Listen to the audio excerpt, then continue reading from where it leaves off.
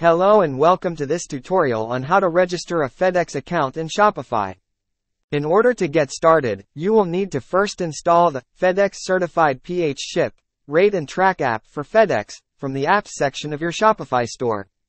Search for FedEx, and once you locate the app, click on Add App and follow the instructions to install it.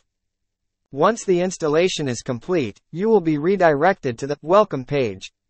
Here, you will need to enter your phone number and email address to get started. The next step is to configure your account. You will need to fill out several fields such as the account name, account number, first and last name, company name, phone number, email, address, zip code, and country. It is important to ensure that the shipper address and postal code you enter here match exactly with those added to your FedEx account. Double check the zip code as well. Once you have filled out all the fields, click on Save, and you are done. Your FedEx account registration is now complete.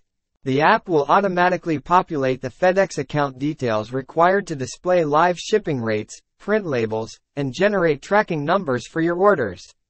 If you found this video helpful, please subscribe to our YouTube channel for more videos like this.